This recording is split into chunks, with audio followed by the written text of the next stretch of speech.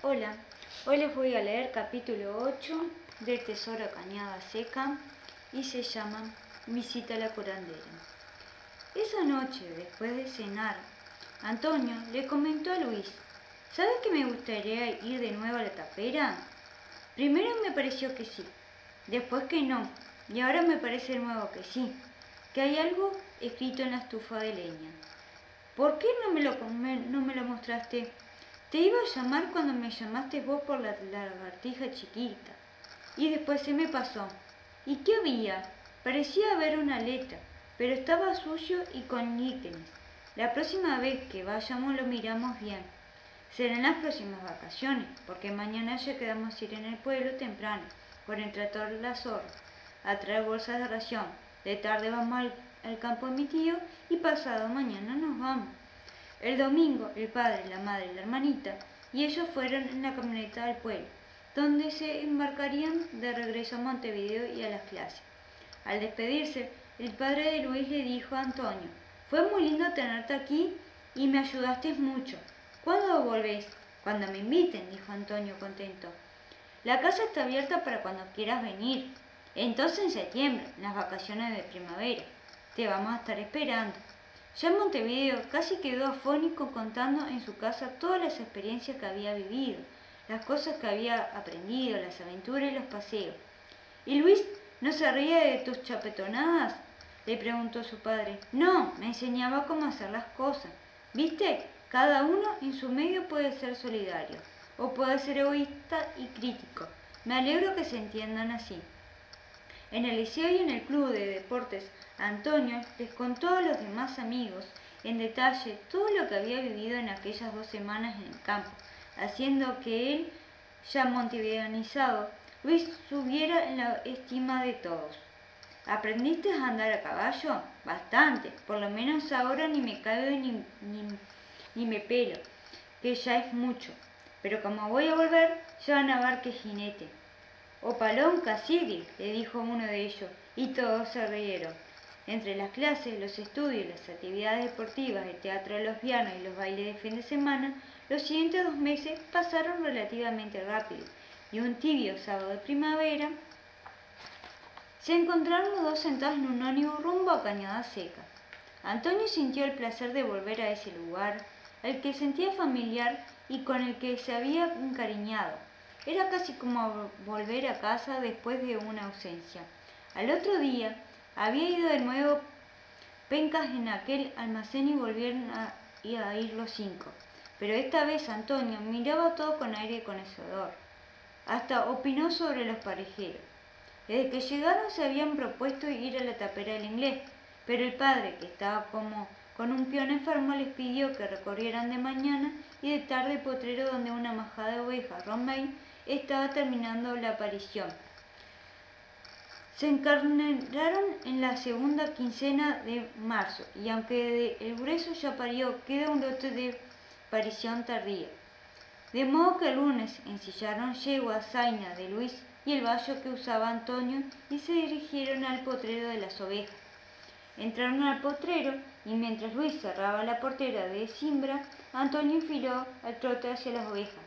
Párate, le gritó Luis, y subiendo a su yegua, lo alcanzó explicándole, no cruces por ahí y menos al trote, no hay que alborotar una majada que está pariendo, porque los corderitos chicos pueden extraviarse de la madre. Vamos despacito, al tranco rodeándola. Si vemos alguna mal echada que no se puede parar, o con el cordero atracado, entonces nos bajamos y le ayudamos.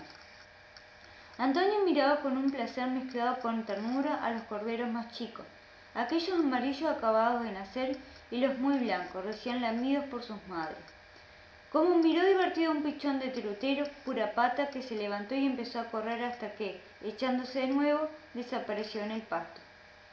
Estuvieron tres días en este trabajo que tenía mucho más de placer, dos recorridas de mañana y dos de tarde, hasta que se recuperó el peón que lo tenía a su cargo. Entonces sí, resolvieron ir al otro día a la tapera del inglés. Cuando el jueves de mañana estaban por partir, Luis trajo una bolsita de lona que ató a los, tientos y explicó, llevo una botella con asta, un trapo y un cepillo de alambre. Vos dijiste que aquello estaba sucio. Cierto, dijo Antonio. Fíjate si tienes también una tiza. Cuando llegaron a la tapera, fueron derecho a la estufa de leña y allí, en la gruesa repisa de granito, Antonio le mostró lo que había visto. ¿No te parece que esos pocitos forman una P? Sí, dijo Luis, y sacando el cepillo de alambre, limpió el frente del líquen y. Después empapó el trapo de nasta y frotó la superficie. Aparecieron entonces una cantidad de pocitos en todo el frente de la estufa. Esto es algo escrito, dijo Luis, entusiasmado. Fíjate aquí y aquí el resto de, de pintura, señaló Antonio con el dedo. Y la primera letra es una R, no una P. Antonio tomó entonces la tiza y con cuidado fue uniendo los pocitos con un trozo. A medida que se iban formando las letras, más emoción sentía, hasta hacerle temblar la mano. Cuando concluyó, en grandes letras mayúsculas se podía leer Real de Biblia. Lee la Biblia, tradujo Antonio, un poco desilusionado. Es más bien parece propaganda de los mormones. Se quedaron un rato observándolo. Después Antonio volvió a mojar el trapo y quitó los trozos de tiza con el granito aún mojado. Le tiró unos puñados de quiar. Por si las moscas, dijo. Saliendo de allí, mostraron sus caballos y llegaron a la casa justo para el almuerzo. Esa noche, solos en el cuarto, el texto escrito en la chimenea seguía dándole vueltas en la cabeza. Solo que fuera gente muy creyente, dijo Antonio. No, dijo Luis, hay una cosa que no encaja. ¿Cuál? Que ese cartel fue pintado, pintado. Esta gente era muy rica. Si hubiera querido poner una leyenda así, lo, haría, lo habrían hecho a tallar en la piedra, en relieve. Cierto. Y eso, está hecho a lo bandido. Las letras no son parejas. Parece que lo hubieran pintado a la que te criaste y después lo hubieran hecho las marcas con un clavo. Un punzón más bien. ¿Será algún mensaje del inglés? No sé. Luis pensó un poco y agregó. ¿Por qué no vamos mañana a hablar con la curandera? El negro Sabino dijo que ella sabía toda la historia. Pero no le decimos nada del cartel. Al otro día de mañana volvieron a emprender el camino al pueblo y siguieron del otro lado, el trillo que habían recorrido en la víspera. El campo estaba lindo, había llovido bien y la primavera empujaba con fuerza. Las laderas se venían cubriendo de una pelusa verde como una barba de diez días. Doblaron en la entrada del rancho de la, de la curandera y anduvieron unos 500 metros hasta llegar a él. El rancho era decrépito, vencido. A su lado una vieja higuera, con el, armar, con el amargo de frutas brevas, protegía con las sombras densas de sus hojas ásperas a un barril de agua sentado en un rastrón. En dos latas a cada lado de la puerta había malbones aún sin flor. No te vas hasta que ella lo diga, tío Luis. Y golpeó las manos. Pasaron dos minutos y nadie apareció. Luis volvió a llamar y de adentro del rancho se oyó. ¡Momento! ¡Ya voy! Y segundo después se asomó a la puerta de la imagen de bruja más real que Antonio había visto en su vida.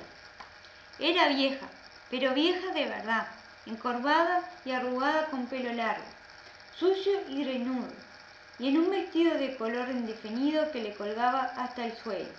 Los observó con unos ojitos puros y le dijo, Abájense. Desmontaron los dos, ataron sus caballos a la y se acercaron al extraño personaje. Buenos días, señora, dijo Luis. Veníamos a verla porque si andan buscando una vencedura, hoy no puedo. Estoy preparando un cocimiento y tengo que salir a buscar unos yuyos. Así que vengan mañana. No, señora, no es nada de eso. Queríamos hablarle porque dicen que usted es la que sabe más de la historia del inglés el de la tapera que está allá arriba. Mi hija los miró con sorpresa y abrió la boca en una sonrisa vacía de dientes. Entró rancho, salió con un banquito y se sentó, indicándoles que hicieran lo mismo en un tronco que estaba enfrente. Si es para hablar del inglés, tengo tiempo. Yo siempre tuve tiempo para el inglés, y eso que él a veces me jodiaba. ¿A usted, ña Ramigia? preguntó Antonio. Sí, a mí, el inglés, era divertido, pero también sabía servirlo cuando quería, y me discutía de magia y de religión. Él insistía en que las cosas que yo hago por los poderes que tengo eran en realidad ordenadas por Dios. Yo me reía y soltó una carcajada rechinante. Si él supiera, clavó su ojillo de los, en los dos muchachos.